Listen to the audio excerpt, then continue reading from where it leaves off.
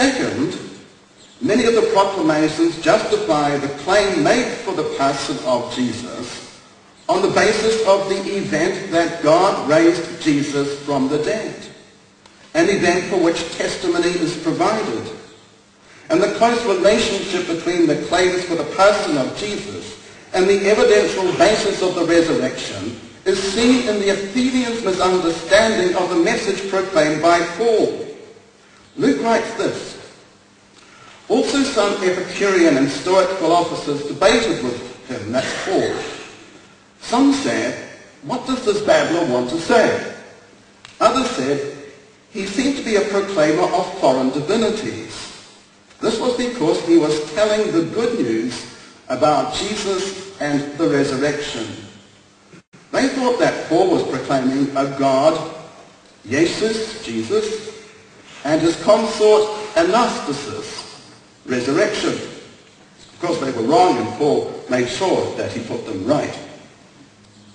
But what is missing in these speeches when we compare this with our modern proclamations? First, there is no mention of heaven or hell as our human destiny when we die. Although judgment features in some of the accounts, the explicit mention of places of reward or punishment is lacking. Hades or hell is mentioned as the place of the dead in quotations from the Old Testament. And heaven is either the sky or the place of God's present existence. Secondly, and on this I want to talk more fully, there is no mention of the love of God for humanity in any speech.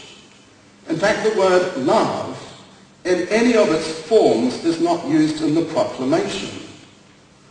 Furthermore, the word love is not used at all in the Acts of the Apostles. Compare this with the frequency with which our presentations include the love of God. The first of the four spiritual laws states, God loves you and has a wonderful plan for your life. For many today, God's love for humanity is an indispensable part of the proclamation.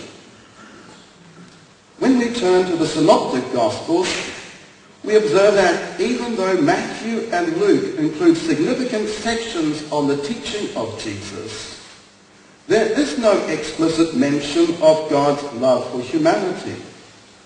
An observation that is a surprise to most people I point that out to. In fact, as I put up there, the phrase the love of God occurs only in the context of our love for God, not God's love for us. So we need to turn away from the synoptics, the first three Gospels, to look at John's Gospel.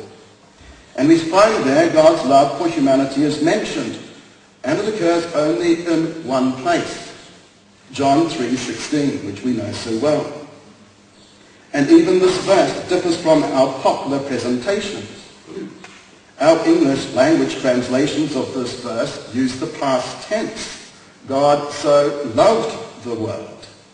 As they do, also similar statements in the Johannine letters. While in modern presentations of the gospel, the present tense, God loves you, is used almost exclusively and indeed, such a difference in tense indicates a difference in meaning. In the biblical tense, the past, or more correctly in these situations, the aorist tense, is used because the love of God for humanity is connected and understood through an event, the giving of his only Son. The knowledge of this event precedes the knowing of the love of God.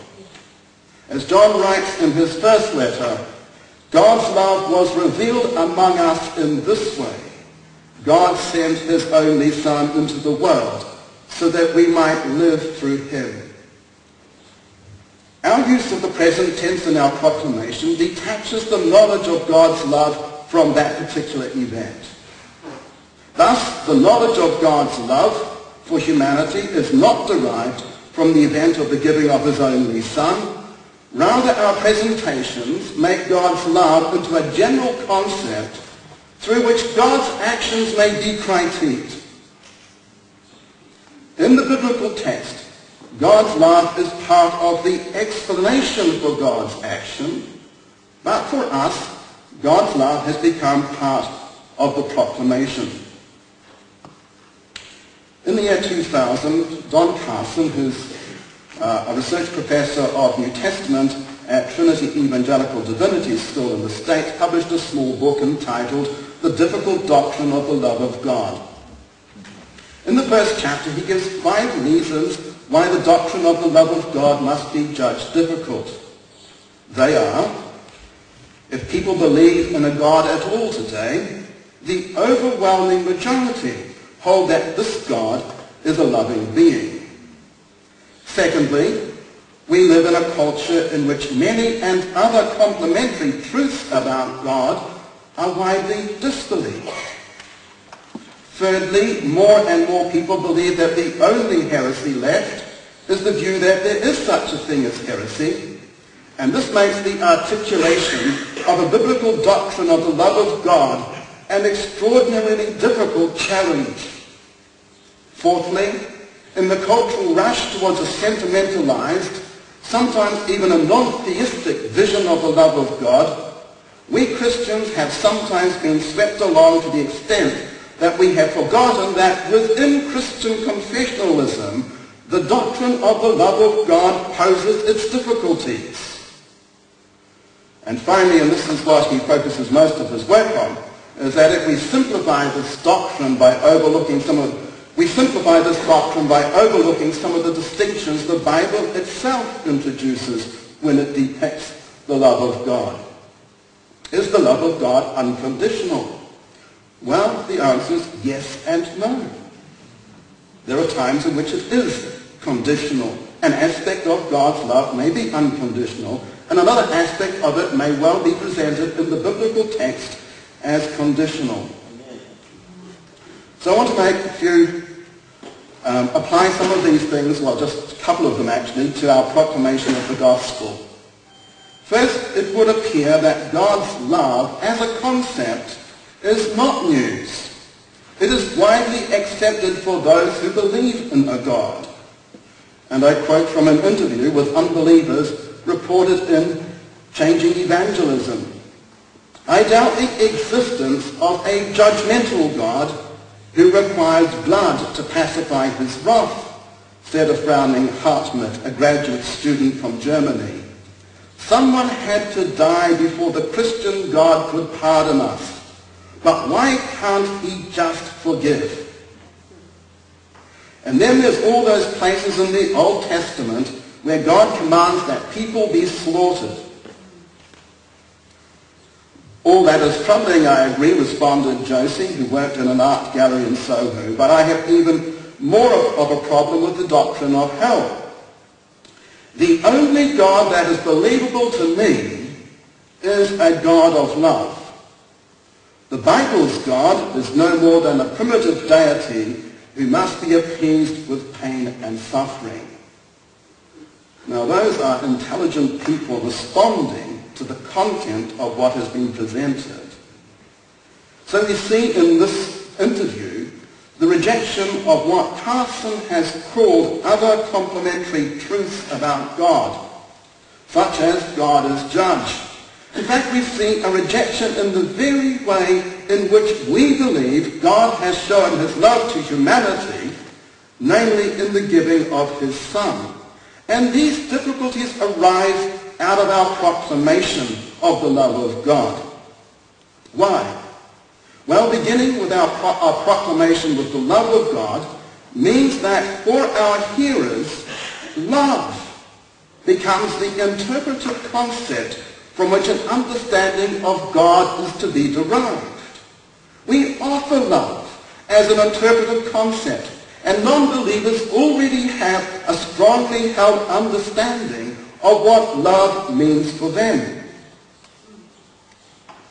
My 22-year-old um, assistant at St. Margaret's was preaching on the love of God, so she trawled the internet just to find out what she could find, what people believe the love love to be, and she found these definitions of love. To have a great affectional liking for, a deep feeling of sexual desire and attraction, any of a number of emotions relating to a sense of strong affection, a deep and tender feeling of affection for attachment or devotion to a person or persons, a strong liking for or interest in something. Well, if those are the definitions which people work with, and that's what they hear when we talk about love, we can see that they are unwilling to adapt their understanding of love to incorporate our understanding of God.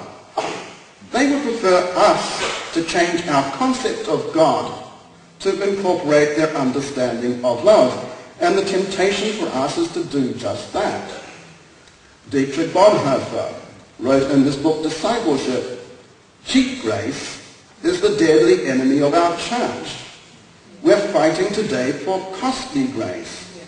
And he goes on to say cheap grace means grace as a doctrine, a principle, a system. It means forgiveness of sins proclaimed as a general truth. The love of God taught as the Christian conception of God. And we can dismiss the objections of non-believers too easily. Some objections they have relate to real issues and difficulties which the doctrine of love poses even within the Christian church, as Carson has stated. Other difficulties arise over the conflicting views of the nature of love as found in the Bible and those views widely held in our society. And it's interesting to note that in the Greek Bible, and by that I include both the Septuagint and the New Testament, the most common word for love, agape, is a most uncommon word in Greek culture. According to Kittel, it is almost completely lacking in pre-biblical Greek. And in the Greek Bible, therefore, the meaning of the word agape is filled in by the context in which it occurs. But our word love comes with a strong preconceived understanding. And where does this lead our proclamation? I think we need to demonstrate clearly in our proclamation that the person of Jesus of Nazareth is the means whereby we know God. It is not love but Jesus. Indeed, this is not denying the love of God at all for us. But it's saying that, in fact, using it as the proclamation creates difficulties in what people hear us saying. And surely we are trying to communicate something to them, not to confuse them. We're trying to communicate that in the person of Jesus. We know God, not in the concept of love. No one has ever seen God. It is God the only Son who is close to the Father's heart who has made him known. Jesus says, all things have been handed over to me by my Father, and no one knows the Son except the Father, and no one knows the Father except the Son, and anyone to whom the Son chooses to reveal him. The writer of the letter to the Hebrews explains, Long ago, God spoke to our ancestors in many and various ways by the prophets. But in these last days, he has spoken to us by a Son, whom he appointed heir of all things, through whom he also created the world. He is the reflection of God's glory and the exact imprint of God's very being. The writer of the letter, of the second letter to Timothy, says these words, Remember Jesus Christ, raised from the dead, a descendant of David. That is my gospel. Paul begins his letter to the Romans. Paul, a servant of Jesus Christ, called to be an apostle, set apart for the gospel of God, which he promised beforehand through his prophets in the Holy Scriptures, the gospel concerning his Son who was descended from David according to the flesh, and was declared to be Son of God with power according to the Spirit of holiness by resurrection from the dead. Jesus Christ our Lord. So we're not here to introduce people to a doctrine or a concept, even one as important and as difficult as the love of God. We're here to introduce people to a person Jesus of Nazareth, whom we took and crucified, but whom God raised from the dead. And it is our responsibility to show why it is in the different evangelistic contexts which we, in which we find ourselves that this Jesus is good news. And how it is that the resurrection justifies our assertions made for him. What we say may not be accepted, may not be popular, but at the least it provides a connection between those who hear and the one who is able to save them. So I have some questions. The first one, and you'll see these on the sheet of paper, but we'll come back to these. If you had a voluntary moratorium on the use of the word love in your presentations of the gospel, how would this affect its content? Can you do it? And secondly, Paul in Acts 17 addresses the general culture of the Athenians in his speech in front of the Areopagus. How do we do that in our context? How do we relate the good news to the culture of secular New Zealanders? That is our task. Thank you.